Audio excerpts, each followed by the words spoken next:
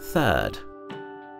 The third features a blind tee shot, and the ideal tee shot favours the left side of the generous fairway, to avoid the second having to clear some of the deepest bunkers on the course. Hit a longer club off the tee to finish on the upslope to make your second shot easier.